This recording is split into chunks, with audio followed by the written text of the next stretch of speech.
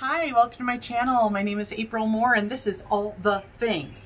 Today I am going to teach you how to do a single crochet, a half double crochet, and a double crochet. And with these three stitches under your belt, you can make scarves, you can make dishcloths, dish towels, anything, uh, so, so many things.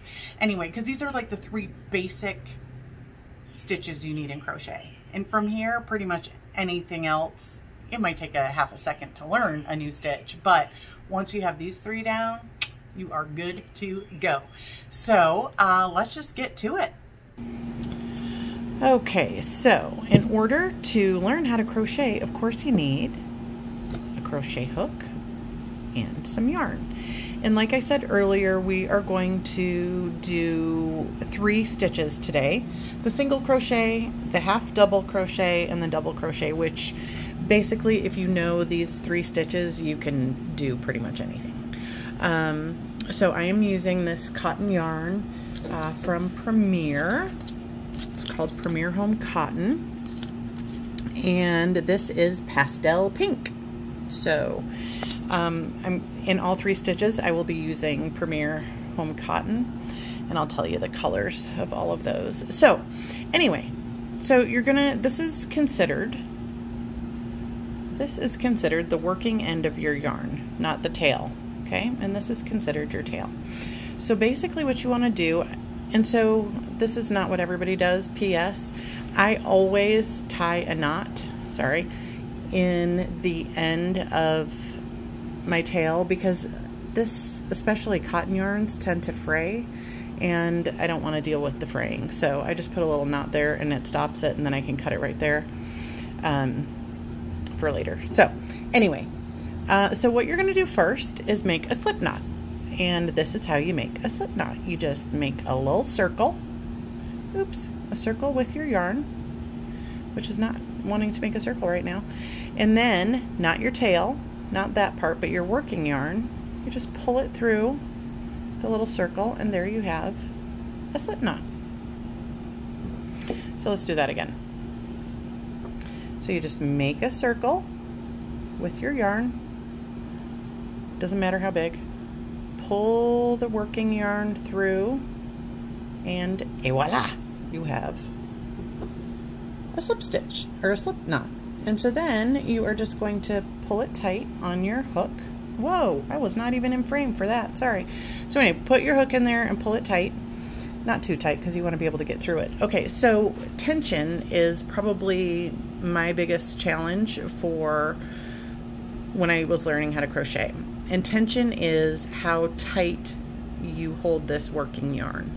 So I personally, for my tension, I have found that if I wrap it around my pinky, bring it up over my hand, that then when I go to crochet, I feel like I get the best tension that way. Some people do this some people will wrap it around there. People have all kinds of different ways that they hold their yarn for tension. Um, and this is just my favorite way. So as you go, you will learn what your favorite way is. And so we are going to simply take our hook, how am I trying to do this, and yarn over, which is what that's called, and pull through the loop.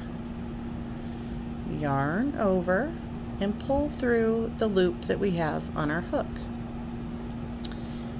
We're just going to do that a couple more times. Yarn over, pull through the loop on your hook, yarn over, through the loop on your hook, and what you will see here is you have made a chain. And you know how many stitches you have by looking at these little V's. So there's there's actually a stitch down here, but it's one, two, three, four, five, and six. Let's make 13. Seven, eight, nine, ten, eleven, twelve, thirteen. So there we have 13 chains. And I don't know where I'm going. There we go, 13 chains. Now, chains are super easy, which is great. This next row where we're having to actually create a stitch in our foundation chain, I think is the most frustrating row ever in, um, in crochet, but you can do it. We can get through it. So we are actually going to now make our first single crochet.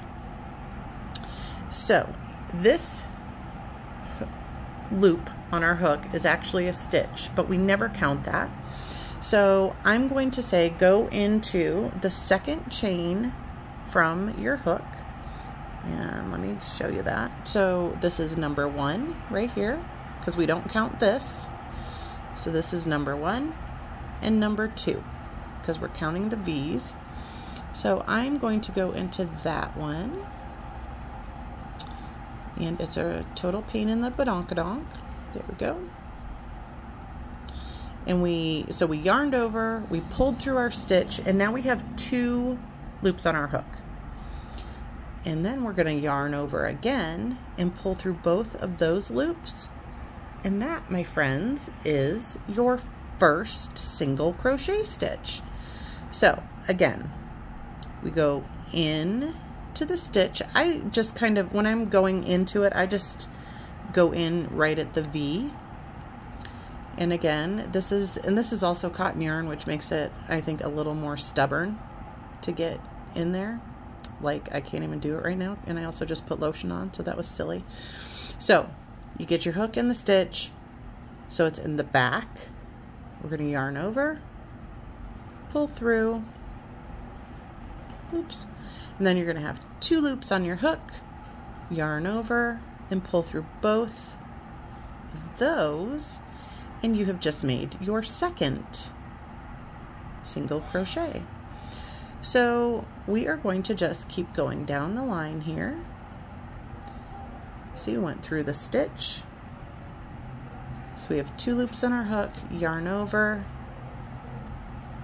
pull through both loops. Go into the stitch.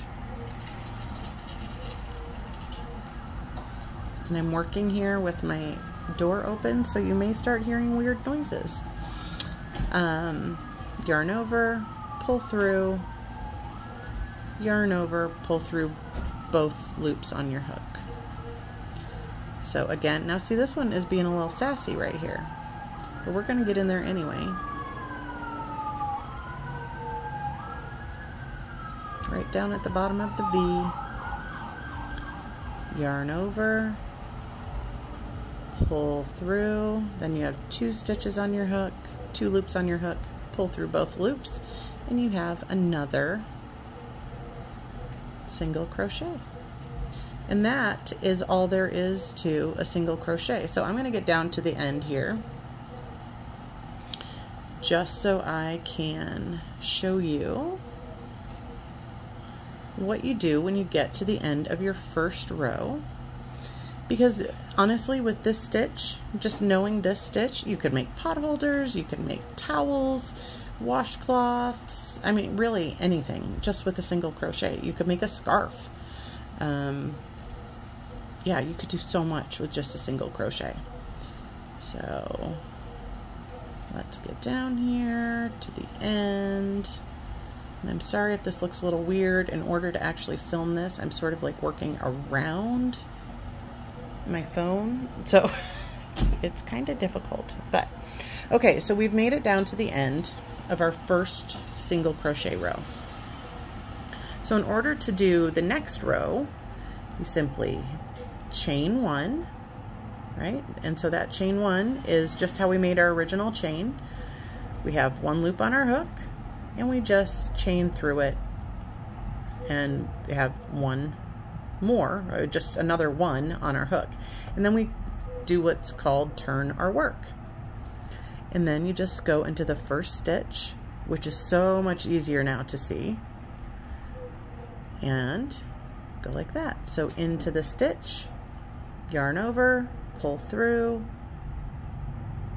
and we've made another single crochet. So see here this hole right right here that is actually your stitch and it's so much easier to find it now that we've gotten through the the first row.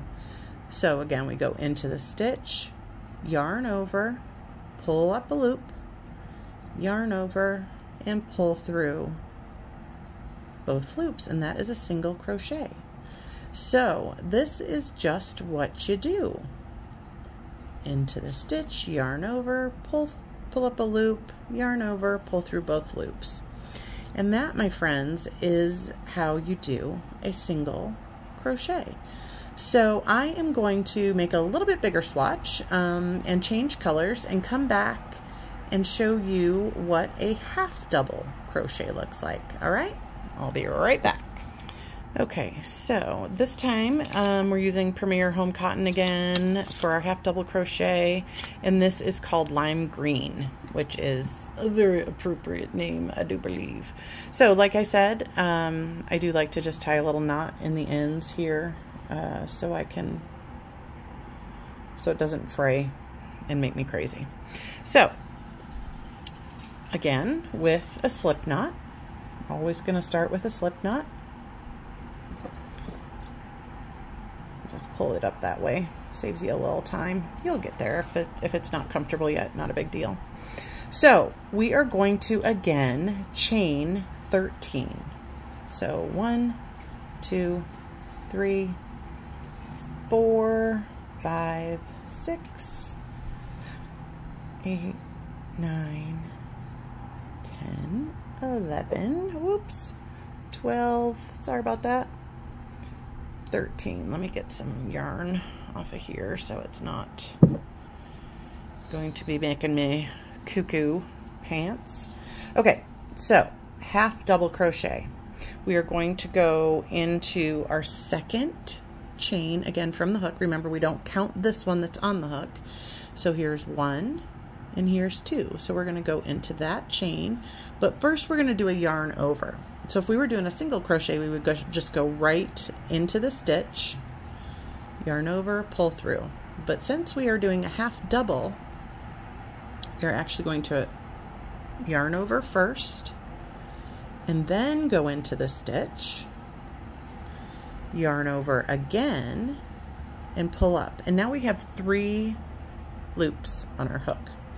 And so the half double crochet is then just pulling through all three loops. Not hard, huh? Super easy actually. So we yarn over, go into the stitch, yarn over, and again we have three loops on our hook and we pull through all three of those hooks. Now some yarn you'll notice I'm tend to go like one by one. Some yarn is super easy to work with and you can just pull through all three loops at the same time. I'm, I don't know, let's try. Yeah, see, this yarn is not super easy like that. So, but anyway, that's called the double crochet uh, or a half double crochet. So I'm just going to go down to the end and I will show you what you do when you get to the end of a half double crochet row. Now, just like with the single crochet, you can use a half double crochet for anything as well. You can make a scarf, towels, uh, dish towels, dish rags, um, literally so much. You can make so much with just knowing the half double crochet. Um, it, it gives you a slightly larger stitch, higher stitch, I guess I, I should say. Um, and it's just a little more decorative. It's, you know, it's nothing super fancy, but it can give, it can add a little bit of texture to your work. So here we have gotten down to the end, and what we are going to do is chain two. So remember, if we're doing a single crochet, we just do one. A half double now, we're going to chain two and then turn our work. And again, here you can see the stitches are nice and open. So we're going to yarn over, go into our stitch, yarn over, pull up a loop, three loops on our hook, and there we go. Yarn over, into the stitch, yarn over, pull up a loop, yarn over and go through all three loops. So just one more time is yarn over, go into the stitch, yarn over, pull up a loop, three loops on your hook, yarn over and go through all three loops. So that is a half double crochet. So I am going to change colors and I will show you what a double crochet looks like next. Just do one more for good measure. There we go. I'll be right back. Okay, and so we are back again, this time with still Premier Home Cotton. This time it is in Cornflower Blue. I am going to tie a knot in my end and then, oops, sorry, and now my slip knot. And you'll also figure out how to make your slip knots, the, you know, that just works the best way for you. So, anyway, we have done the single crochet, the half double crochet. Now we are going to do the double crochet. So let's chain 13 again. One, two, three, four, five, six, whoops, seven, eight, nine, ten, eleven, twelve, and 13. And again, we do not count the stitch that is on our hook. And we are going to go into the third chain from the hook.